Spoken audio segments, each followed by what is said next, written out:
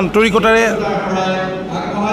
অসম গণ পৰিষদ দললৈ আজি তেখেতসকলক স্বাগতম জনাইছোঁ। ৰাইজৰ দলৰো আছে বুলি কৈছে আৰু যথেষ্ট সংখ্যক বিভিন্ন মহাবিদ্যালয়ৰ ছাত্ৰ একতা সভাৰ বিষয়ববীয়া আমি আন্তৰিকতাৰে অসম গণ পৰিষদ দললৈ আজি তেখেতসকলক স্বাগতম জনাইছোঁ।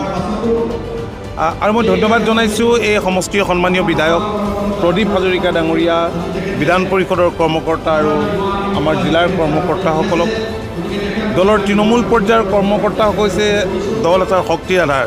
মই দেখিছোঁ এইখিনি কৰিবলৈ যাওঁতে তৃণমূল পৰ্যায়ৰ কৰ্মকৰ্তাসকলৰ যথেষ্ট অৱদান আছে। মই তেওঁলোককো আন্তৰিক ধন্যবাদ আৰু কৃতজ্ঞতা জনাইছোঁ। এই যোগদানে আজি বৃহৎ সংখ্যক লোকৰ যোগদানে নিশ্চিতভাৱে এই সমষ্টিত কংগ্ৰেছক দুৰ্বল কৰিব জিলাখনক দুৰ্বল কৰিব আৰু অসম গণ পৰিষদ দলৰ ভেটি মজবুত কৰিব।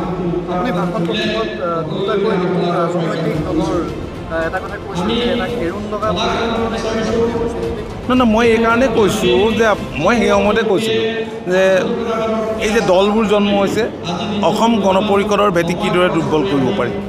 আঞ্চলিকতাবাদৰ ভেটি কিদৰে দুৰ্বল কৰিব পাৰি? আৰু আমাৰ নামৰ দৰেই নাম দি লৈছিলে এটা ৰাজনৈতিক দলে। আৰু বাকী দলটোৰ কথা মই নকওঁৱেই বা। গতিকে সেই দলবিলাকৰ চৰিত্ৰটো মানুহে বুজি পালে।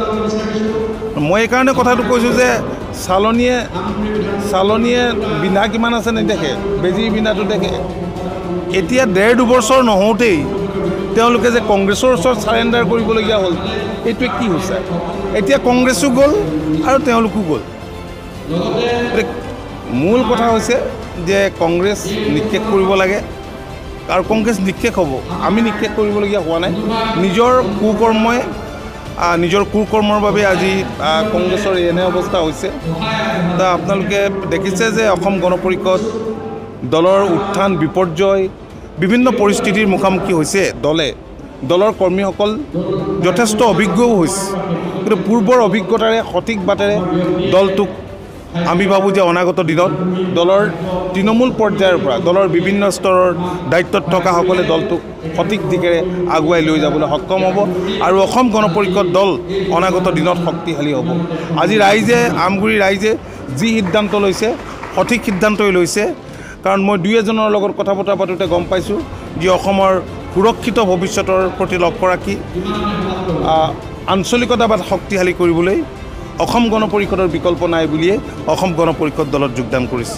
আৰু অসম